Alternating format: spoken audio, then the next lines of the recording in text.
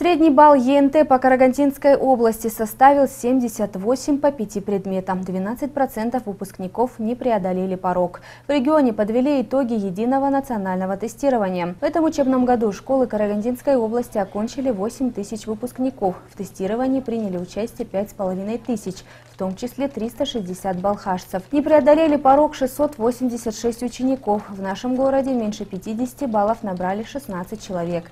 Самый высокий результат ЕНТ НТ по региону 137 баллов набрал выпускник из Жесказгана, на один меньше у гимназиста из Шетского района. Во время сдачи теста аннулировали результаты двух человек. По итогам ЕНТ средний балл по области составил 78. В Балхаше он равен почти 75.